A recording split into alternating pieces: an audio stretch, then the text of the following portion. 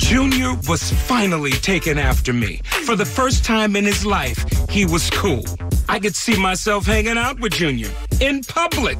I'd be willing to take pictures and everything.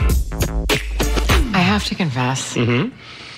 I am so proud of the man that Junior has become. So am I. No. Two black friends at the same time? Two. Two. Oh, we've waited for this. Uh. Hey, babe. Yeah. I bought some bubbly water yesterday. Did you move it? Uh-uh. Look behind the orange juice. I can't. There isn't any orange juice. What? There isn't any cheese. And the soy sauce is missing. Uh-uh. I bought soy sauce yesterday, babe. Wait a minute. Baby, there's there's no cereal, there's no honey, What? and is the sponge missing? Where's the soap? Where's it? Where's Babe, What? check the laundry room. Okay, okay, okay, I'm checking. There's nothing down here. The only thing in here is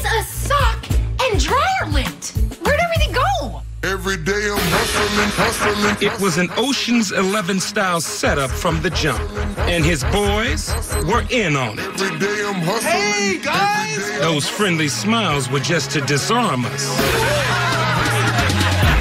Suckers think you're tripping with? Yes, I'm the boss. It was an inside job.